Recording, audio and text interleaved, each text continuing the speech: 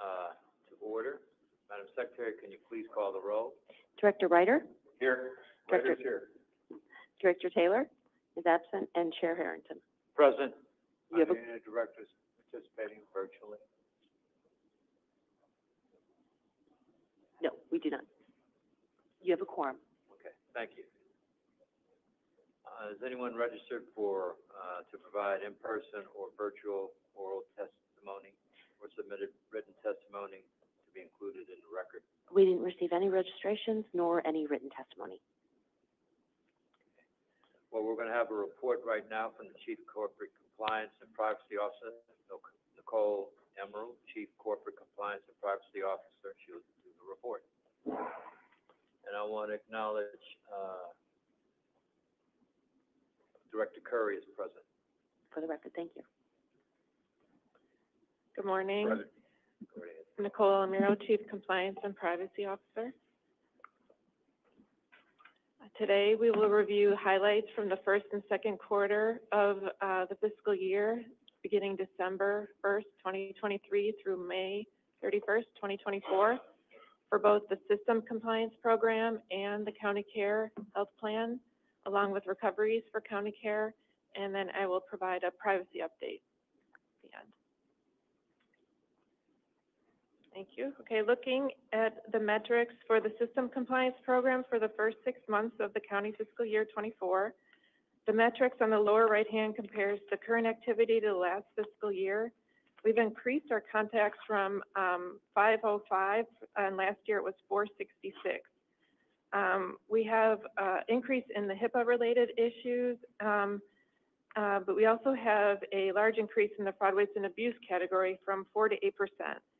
Um, more contacts aren't necessarily a good thing. You have to delve into the data to determine if you're getting new issues so that the old ones are resolved. And in looking at the fraud, and waste, abuse category, we noticed that they, we have a lot of, um, touches, uh, dealing with, um, uh, compliant workflows, billing workflows, and documentation for providers, uh, including ancillary providers. So that, that is a good sign.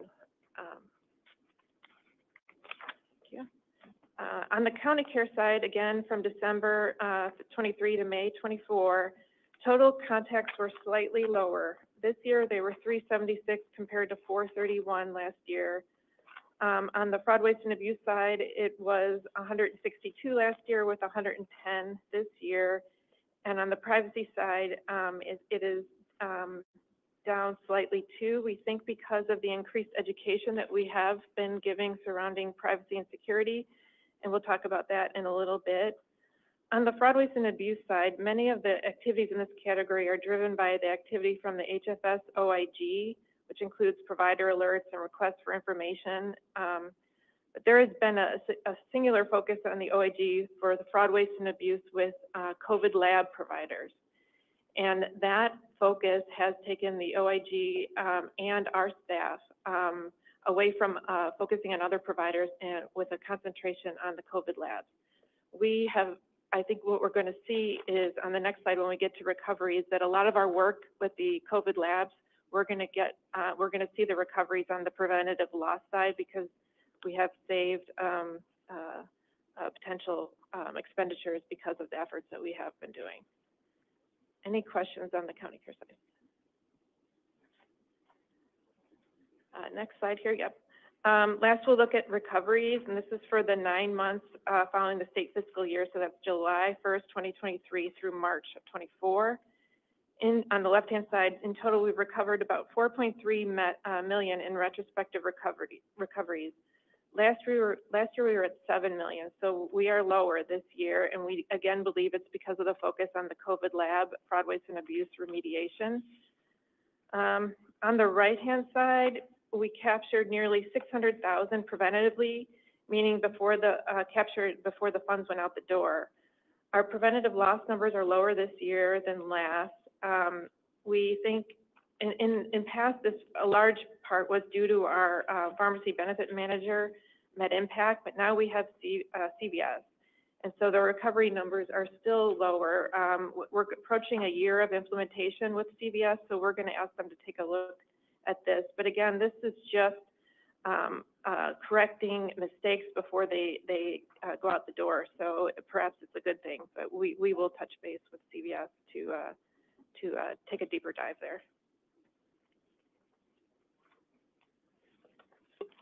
On the privacy side, these are, um, our major security breaches that we've had in the last year. Uh, I brought the last four to your attention previously. We did have a new one, though, that's Superior Ambulance. They had a large breach impacting, uh, over twenty of their clients in the Chicagoland area.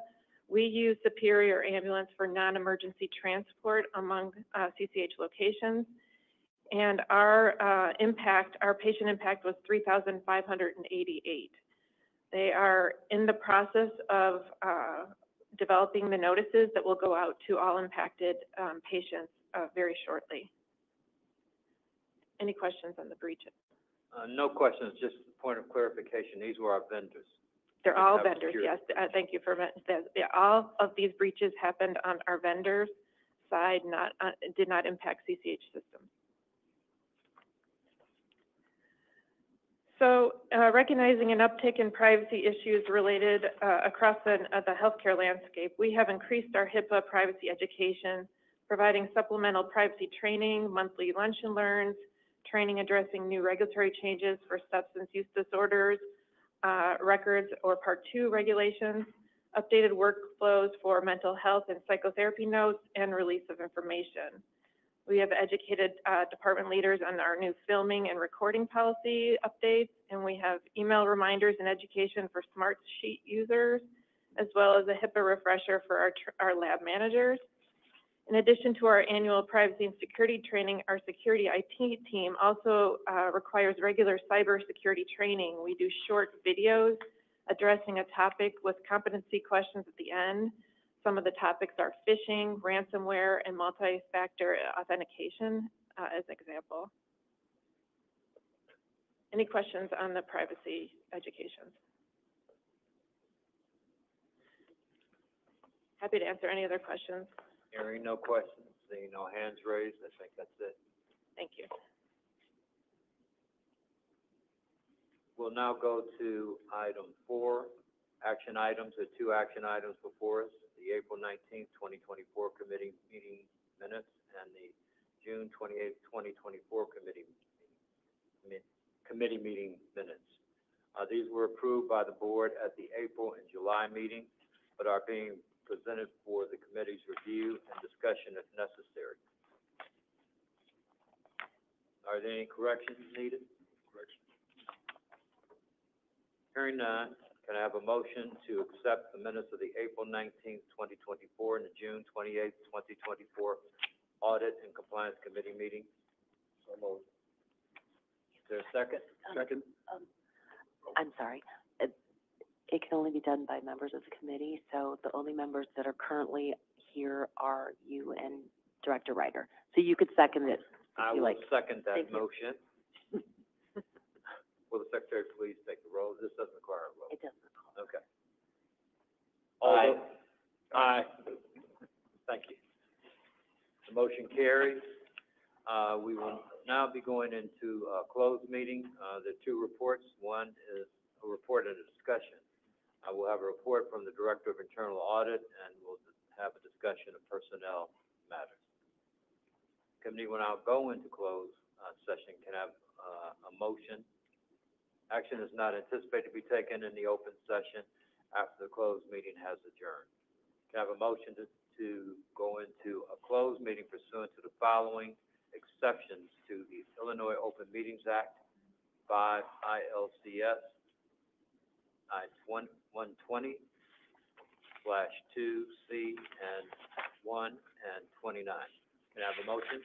So moved. Second? All those in favor say aye. When we do need a roll call. Roll call vote on the motion to go into closed session? Roll call motion on the, vote on the motion to go into closed section. Aye or nay? Director Ryder? Aye. Director Taylor is absent, and Chair Harrington. Aye. You have two yays and one absent. We'll now go into closed session. So what I do is I usually just